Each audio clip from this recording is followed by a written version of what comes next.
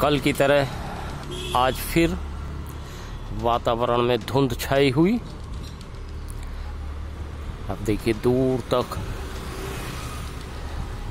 कैसी प्रदूषण की परत छाई हुई है, धुंध की, प्रदूषण के धुंध की। बता दें, पटाखों के कारण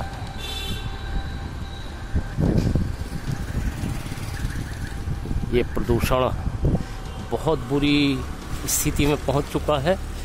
मेरठ ही नहीं, पूरे एनसीआर और पश्चिमी उत्तर प्रदेश में।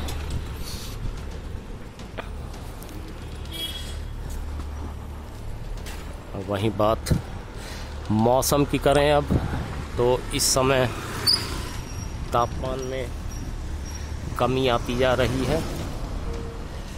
मौसम विभाग के अनुसार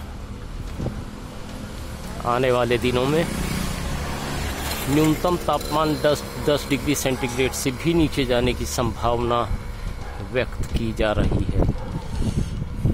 वहीं अधिकतम तापमान में भी कमी आई है।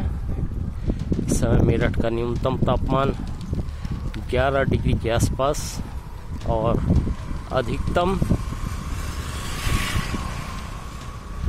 28 डिग्री सेंटीग्रेड।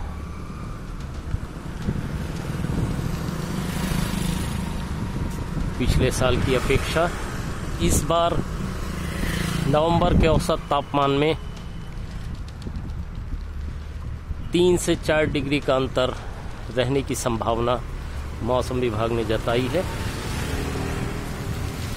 मौसम विभाग का मानना है कि जिस तरीके से मानसून की विदाई काफ़ी देर से हुई और ज़बरदस्त बारिश हुई उसी तरीके से इस बार ठंड भी काफ़ी तेज पड़ने की संभावना है।